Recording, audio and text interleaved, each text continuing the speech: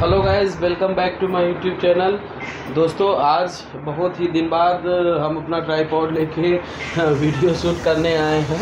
और फ़िलहाल अभी मैं इलाहाबाद में हूँ, यानी कि प्रयागराज में हूँ, जिसका नाम अभी बदल गया है। और घर में हूँ, चूँकि बच्चे अब यहाँ पे देख सकते हैं, ये लड़ाई कर रहे हैं यहाँ पर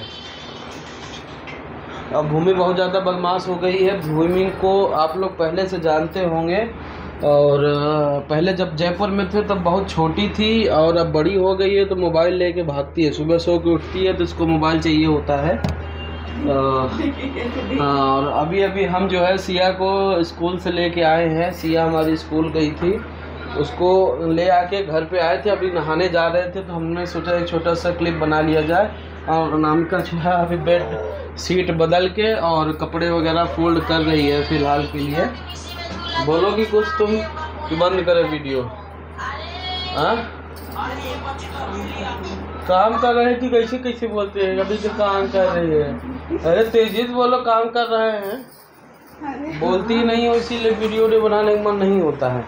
और यहाँ पे दोस्तों सांची लेटी हुई है आप लोग देख रहे हैं। सांची लेटी हुई है थोड़ा सा हमारे कमरा जो है बच्चे बहुत रहते हैं तो कमरे में बहुत ज़्यादा गंदगी हो जाती है।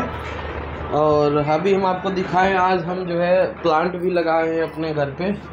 हम आपको दिखा देते हैं। दरजो का नहीं खुला था? खुल गया दोस्तों आप लोग देख सकते हैं हमने दो प्लांट लगाए हैं यहाँ पे हमारे। एक में हमारा कुंजलता का पौधा है।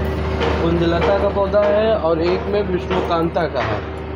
चलो तो दोस्तों अ, कुंजलता और विष्णुकांता दोनों में फूल आते हैं। कुंजलता में लाल कलर का फूल आता है और विष्णुकांता में ब्लू कलर का आता है, जिसको क्लटेरिया टोरेंटा भी बोलते हैं।